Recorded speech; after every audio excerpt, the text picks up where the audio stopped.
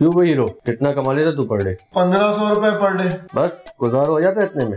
गुजारा तो नहीं होता पर ये फेक ऑडिशन वाले अपनी एमसीबीसी ना करे ना कर तो ज़िंदगी आराम से गुजर जाए।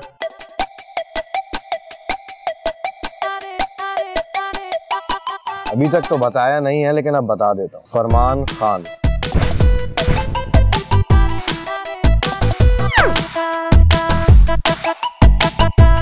मेरी फ़्लाइट का टाइम हो गया मैं चलती हूँ और मैं तुम लोग से मंडे को मिलना चाहती हूँ। पार्टी दे रही हूँ मैं तुम लोग को हाँ?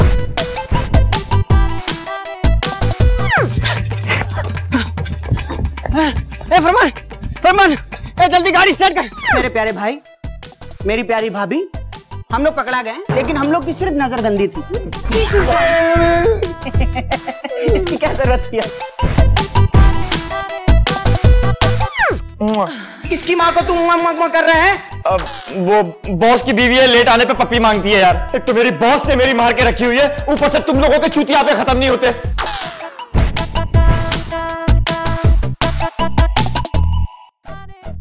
ये आप एसी के रिमोट से टीवी कंट्रोल क्यों कर रहे हैं? आपने वैसे भी आज तक मुझे एक घंटा भी नहीं दिया।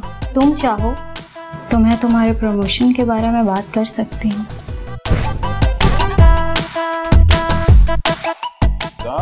के भी। आई हई ये कितनी गंदी स्मेल आ रही है। तू मुझमें कहीं बाकी है।